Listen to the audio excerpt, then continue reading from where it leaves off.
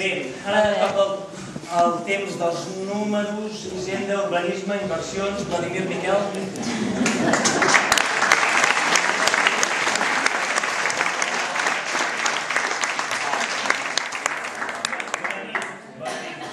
Vladimir, jo espero amb que em aniré a dir que no em pugis la contribució. Quan penso, quan penso amb el Vladimir, a vegades penso amb el Marc Larry. Perquè sí, perquè està màgia. Portem tres anys d'una crisi profunda en aquest país. Però resulta que en aquest poble no tan sols no tenim dèficit, sinó que tenim superàvit, amb la conseqüent reducció del deute. O sigui, tots els abrequins podran dormir més tranquils.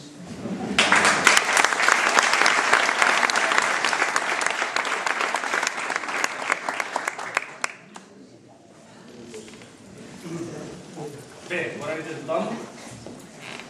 Veure com durant aquests quatre anys els sis regidors que han format part de l'equip de govern han mantingut aquesta il·lusió i ganes de treballar, veure com darrere d'aquests sis regidors hi ha un gran nombre de col·laboradors que han mantingut en el caliu un esperit de treball i respecte al llarg tota la legislatura, veure que aquí has anat a buscar, t'ha correspost com Déu mane, veure la preparació i el coneixement de les noves incorporacions que hi ha en aquesta llista, això són motius pels quals he decidit continuar formant part d'aquesta legislatura.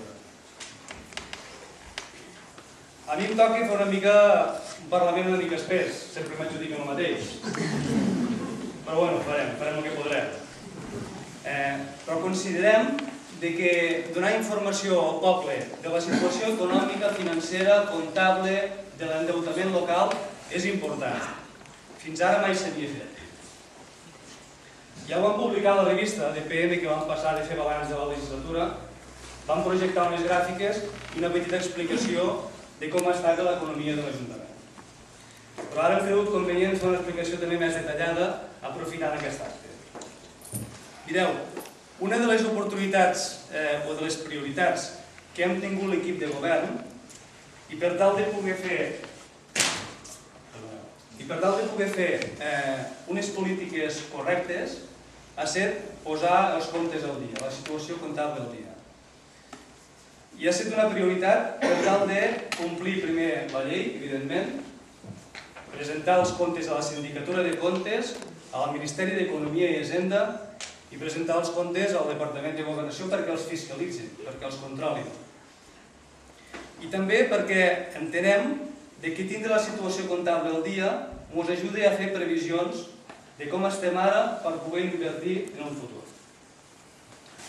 Amb això voldria fer un agraïment al personal administratiu de l'Ajuntament i més especialment a la persona que es dedica a tasques comptables de facturació de l'Ajuntament i amb el suport administratiu de la secretària. Ara us projectarem les diapositives que va sortir a la revista i farem una petita explicació ràpida i esperem que no, que no sigui pesat. Aquesta primera diapositiva ens eh, projecta quina és la, la evolució del pressupost de l'Ajuntament. Aquí observem, amb groc, les columnes del pressupost de despeses i veiem que amb la comptabilitat que hem dit i amb el nostre, amb el nostre objectiu hem mantingut una estabilitat pressupostària. Des de l'any 2008 a l'any 2010 el pressupost de despeses de l'Ajuntament s'ha mantingut. Això és molt important. I el que és més important és que el pressupost d'ingressos de l'Ajuntament l'hem incrementat. Hem seguit una evolució des del 2007 al 2010 pràcticament 200.000 euros d'ingrés ordinari de l'Ajuntament. Aquí no hi ha ni subvencions ni inversions. Això és la despesa ordinària que té anualment l'Ajuntament. D'aquell gràfic anterior entrem a aquest. Aquest ens mostra l'estalvi pressupostari de l'Ajuntament. Què vol dir això? Que si nosaltres mantenim una política de control de despesa i incrementem l'ingrés vol, dir que tenim estalvi.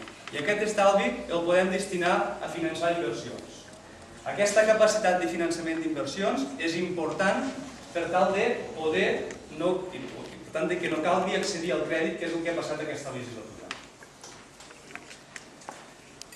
Aquí voldria posar un exemple d'austeritat. S'ha parlat durant els actes electorals d'aquesta campanya d'austeritat, d'austeritat dels grups, però nosaltres hem tingut molta austeritat al llarg de la legislatura.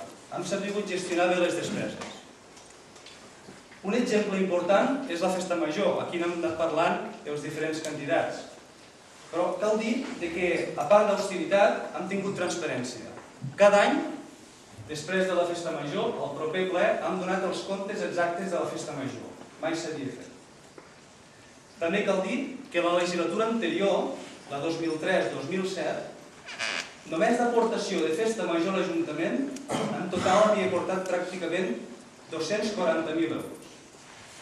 40 milions de les antigues pessetes.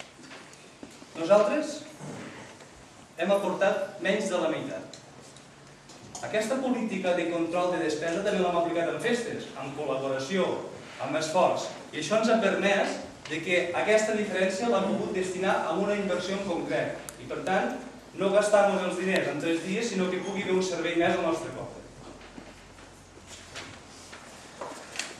El programa heu pogut observar de que una proposta ambiciosa que tenim és treure les quotes de la festa major. Pensem que ho podem fer.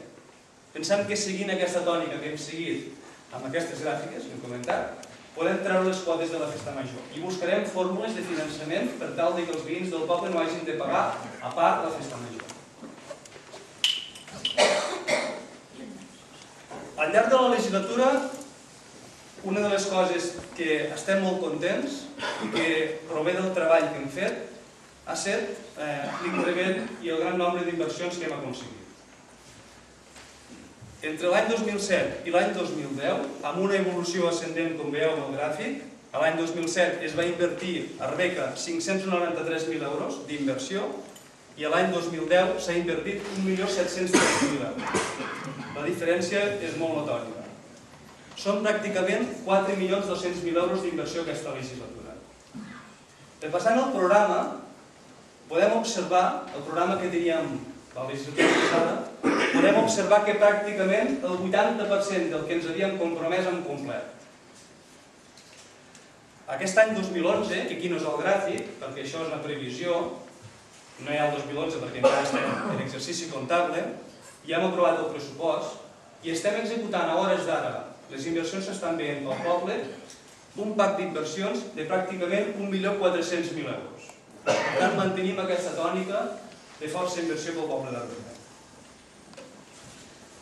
Tot i això, algunes obres no s'han pogut fer. Ho ha comentat l'Emili, el tema del pavelló poliesportiu. Quan vam entrar a l'Ajuntament, el primer que vam fer va ser obrir el calaix. Perquè ens van dir que el calaix hi havia 900.000 euros. No els vam trobar. El que sí que vam trobar és un paper.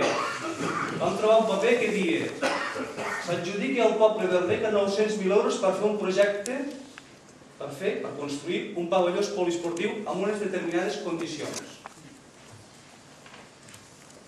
Amb esforç i dedicació vam intentar tirar endavant aquest projecte. Vam anar a Barcelona quatre vegades, al Departament d'Esports de la Generalitat. Vam parlar amb la secretària general d'Esports, l'Anna Pruna, tres vegades. Per què? Perquè per gastar-nos aquells 900.000 euros, el projecte que l'Ajuntament, l'avantprojecte que l'Ajuntament va redactar, finalment ascendia a 2.200.000 euros. Per tant, eh, és impossible. Arbeca no tenim la capacitat de portar 1.300.000 euros a la butxaca. Això ho dic perquè se sent a parlar i es fa molta demagogia d'aquest tema del pavelló poliesportiu i, i clar, eh, el que no podem, bueno, els, els comentaris són que han perdut 900.000 euros, no, no els han perdut, els hem estalviat, els hem estalviat. I el que haguéssim fet és perdre la capacitat d'inversió futura de l'Ajuntament i hipotecar l'Ajuntament si haguéssim fet el pavelló poliesportiu. Ara el que sí que farem, i vam adoptar un compromís, perquè en la nostra situació ens hi vam trobar set altres pobles d'aquí de la província i un del sud de Tarragona, adoptarem el compromís eh, de lluitar per construir aquest pavelló. Vam firmar un document a la seu de la delegació del govern a Lleida, amb el delegat territorial del govern de la Generalitat, que a la propera convocatòria que sortís, que sortís el tema dels pavellons poliesportius, Arbeca i els altres sis pobles tindríem la prioritat amb una aportació màxima del 60%. Esperem que surti aquesta convocatòria i puguem defensar els que som aquí i els que ens puguin ajudar de la Generalitat aquest projecte.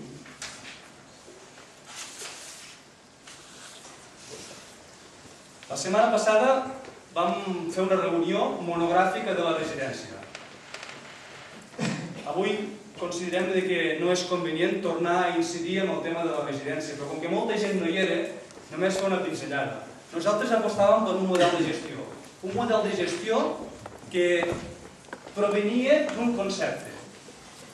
D'un concepte que moltes vegades, per demagògia, ens el venien equivocat. Una residència municipal, com s'havia començat, és també una residència privada.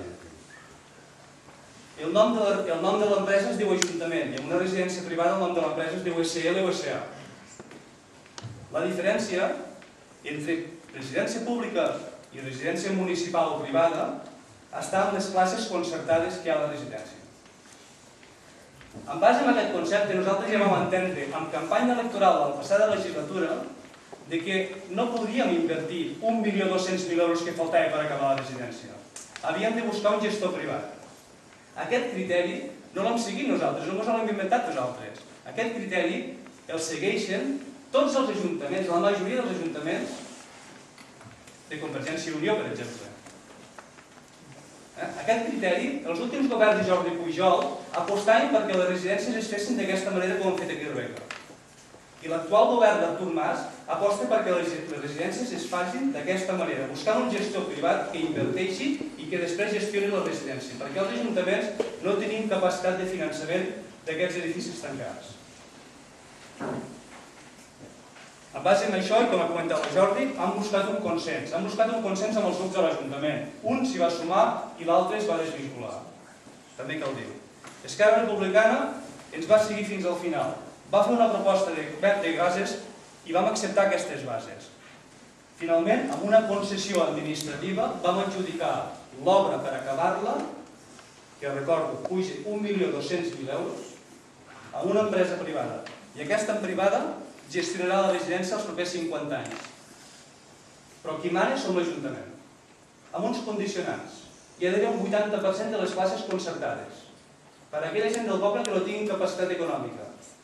I si la Generalitat, com passa ara, perquè la setmana passada vam anar a una reunió amb el Joan, a veure el delegat de Benestar Social de la Generalitat, no ens concedeix de moment classes concertades perquè eh, estem immersos en una, greu, en una greu crisi econòmica, que ens inscriguin la residència d'Arbeca i s'han compromès així, l'actual Departament de la Generalitat, a dins d'un registre en el qual aquelles persones que rebin el que s'anomena la prestació econòmica vinculada, que rebin una subvenció, puguin accedir i puguin anar a la residència d'Arbeca.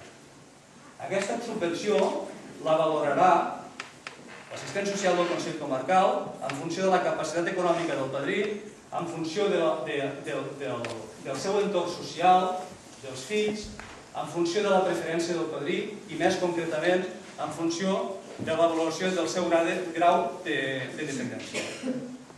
Si el padrí rep aquesta subvenció, podrà vindre a la residència d'Arbeca amb la plaça subvencionada. I de cara a l'any que ve, 2012-2013, ja ens arribaran les places concertades.